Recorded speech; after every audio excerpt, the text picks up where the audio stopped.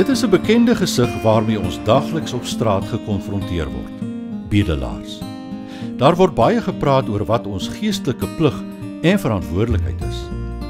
Uit verskeie oorde word ons vermaan om nie geld te gee nie. Ons weet ons moet iets doen, maar wat? Die antwoord is die G-voucher projek waarmee 'n klompie jare gelede vorendag gekom is.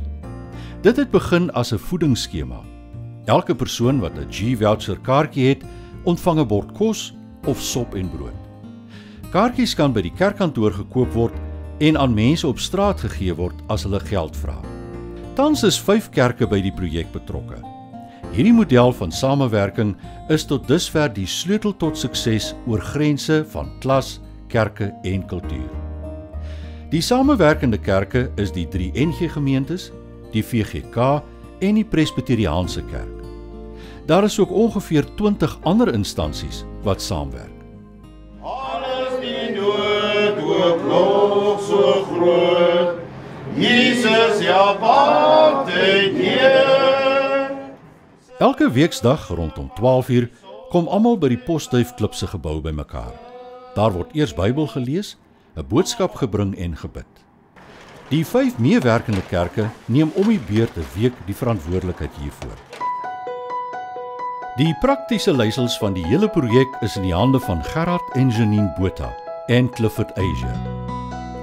Met verloop van tyd het die voedingsskema uitgebrei om vir die hawelose persone ook klere te gee.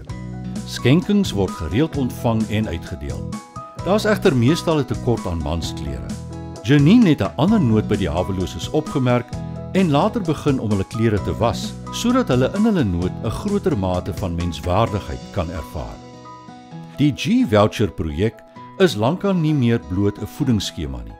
Hierdie omgee projek gaan ook oor die opheffing van mense. Daarom is met 'n tuinbouprojek begin. Die kundigheid van Michael van Niekerk en Heidi Swart is benut om in die barre stuk grond onder die bloekombome 'n tuin aan te lê, waarvan die groentes en kruie ook vir die maaltye benut kan word. Hier is natuurlik nog meer hande, materiaal en toesig nodig. As deel van die gemeente se 175 jaar feesviering is hier reeds 96 olyfbome en 12 suurbome aangeplant.